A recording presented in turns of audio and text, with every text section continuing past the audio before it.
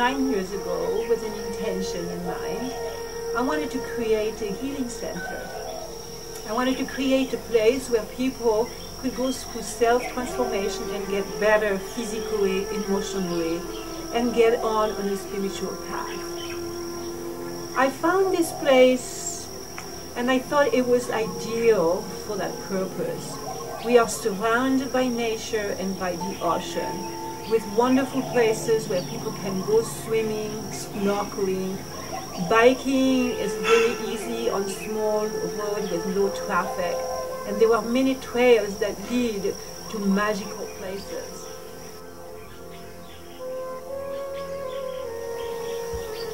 I believe that most illness are due to toxicity.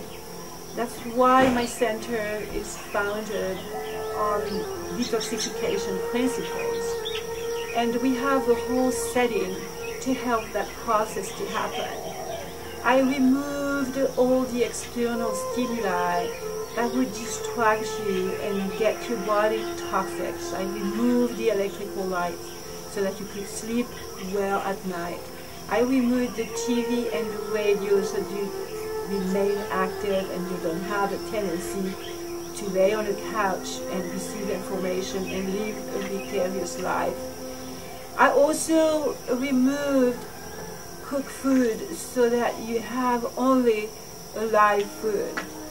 That's why all my programs are based on juices, raw food, enemas, because I believe that liver detoxification is very, very important and the far infrared sauna to remove environmental toxins.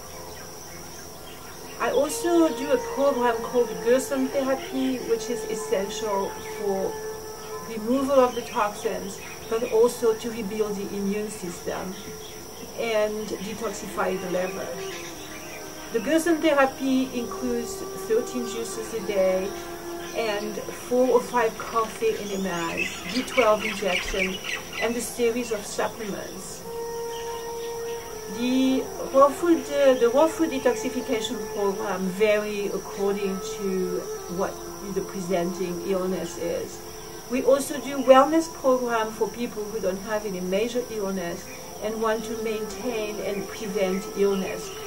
This is the best attitude, is to come once a year for 10 days and detoxify your body. Everybody is toxic just from living this life. 90% of illnesses right now can be taken care of by this detoxification. So the best way to take care of yourself and the best way to prevent illness is to detoxify and change your lifestyle. The detoxification is the first stage. The second stage is to carry all the things that you have been learning here, to carry it home. So when you go back home, you need to improve. You need to improve your lifestyle.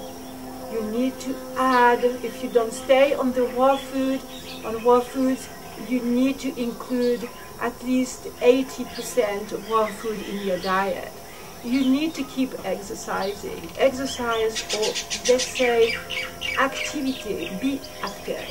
Don't lay around too much watching TV or reading a book.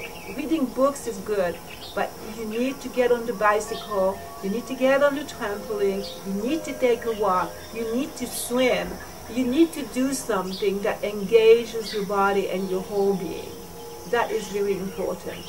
So with a good diet, and exercise and a good mental attitude and a healthy emotional being, you should be doing okay and have a long life.